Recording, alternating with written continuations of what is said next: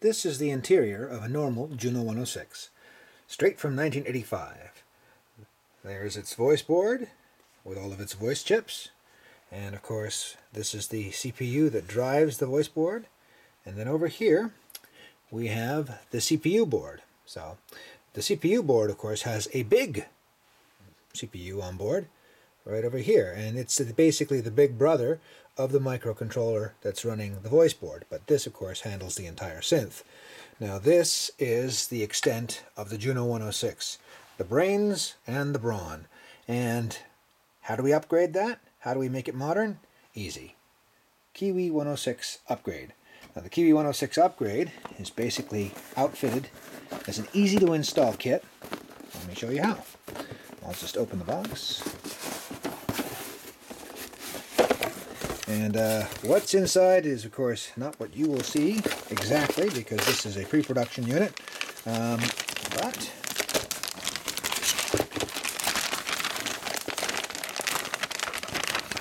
first and foremost item to consider is the Kiwi 106 CPU upgrade board itself.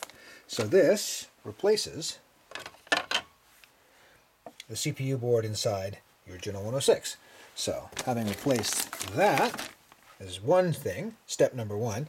It's, of course, uh, the actual production units aren't going to have a daughter card. They'll actually have the main CPU soldered directly to the board. But this will give you many times the patch memory, not requiring a battery.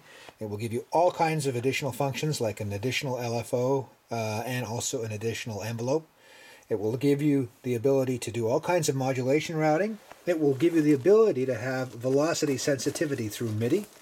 Um, so that means anything coming in from MIDI will actually be equipped with velocity information, so consequently it'll be able to play. Now that's going to give you a completely different sound for your Juno 106 uh, in terms of its dynamics and playability. But there's more to it than just simply updating this CPU board. The uh, voice assigner chip is sadly primitive compared to what we can do today. So in fact, what's going to happen is this is going to come out and be replaced by what's in this bag, and I'm not going to unbag it. Uh, it is basically an interface card. This is the CPU interface card, and it lives in that spot. So this is where you're going to need a tech, or at least you're going to have to be good at using a vacuum desoldering tool to remove these pins. And once you have this installed and this installed, as you can imagine what they might look like. You then connect them with the supplied ribbon connector, like so, well, roughly speaking. And then once that's in place, you now have a working CPU, you have a basically a connection into the voice board, and the voice board is being run by the CPU on its spare time, which it can easily do because it's a modern CPU. And uh, that would be the extent of the Kiwi 106 upgrade kit. Of course, there is the cosmetically beautiful metal Kiwi 106 and Kiwi Technics nameplates, which you can put anywhere you like. Um, I personally think that they look really good. The Kiwi 106 looks really good just over here, like an old Prophet synthesizer. Then that way you're not actually putting it up on the front panel. But if your front panel actually has scars on it or dents or whatever, you might actually choose to cover them up with the Kiwi 106 label. Anyway, that notwithstanding, we look at this situation and say, great, so that is the Kiwi 106 kit.